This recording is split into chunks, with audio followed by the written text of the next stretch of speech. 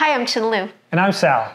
A few weeks ago, we went on an open studio tour and got to see the amazing creations of local artists and craftspeople. One of the places we visited was called Rag Hill Farm, and that's where we discovered these clever bowl cozies. Check out the link in our description to see all the other functional art that they create. These cozies are great for hot soup off the stove and really useful for reheating food in the microwave.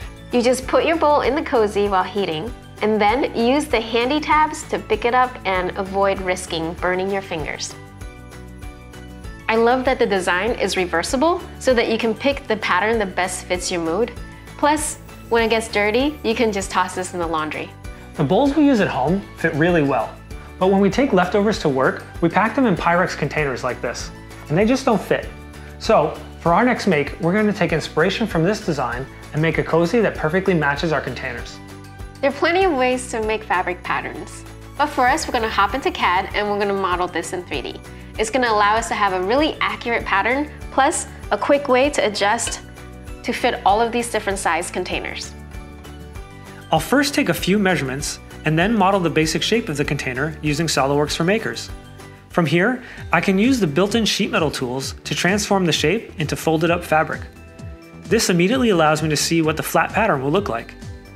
Even though we won't be making the cozy out of metal, we can continue to use the sheet metal commands to add the handle tabs as well as the seam allowances. At this point, we have a model that's ready to become any size we need it to. We just have to change the length, width, and depth values, and the pattern will automatically update. The last thing we need to do is make a one-to-one -one scale drawing of the pattern and align it so at least a quarter of it fits on a single sheet of paper. With the pattern printed out, I start by cleanly cutting out the quarter shape. I grab some craft paper and fold it in quarters. After tracing the pattern, I cut out the paper as I would a piece of fabric. I want to check out the seam allowance, so I fold, tape, and test the prototype with the actual container. It looks good, so I use the pattern to cut out the fabric pieces. I also cut out some batting with the pattern so that it can be sandwiched in between the outside layers. I hold back along the outside edge so that it doesn't thicken the edging too much, as I'm not super comfortable sewing thick material.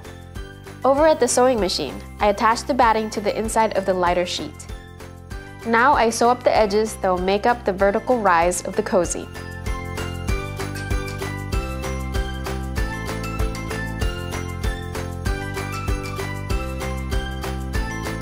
To attach the two fabrics, I line them face to face and sew up the edge leaving one side open so that I can turn the entire thing inside out.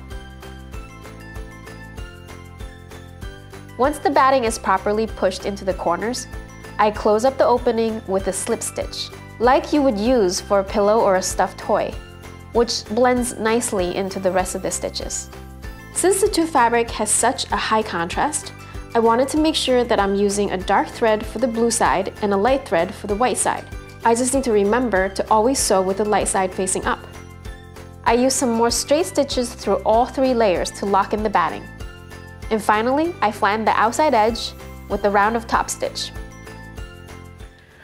Though I don't have expert skills on the sewing machine, I was still able to pump both of these out in a few hours. I'm really happy with the outcome. Plus, they'll make great gifts for the holidays. If you want to make one of these for yourself, you can grab free plans to our Pyrex designs over at the Made in 3D community. And if you want to support a small business and get a set of professionally made bowl cozies, check out the Rag Hill Farm store. Links to both are in the description below. Thanks for watching. We'll see you on our next make. These cozies are great for hot. These cozies are great for hot soup. I love that this design is reversible so you can choose the pattern that fit. Fast bitch, you're nude. Fast bitch, you're nude.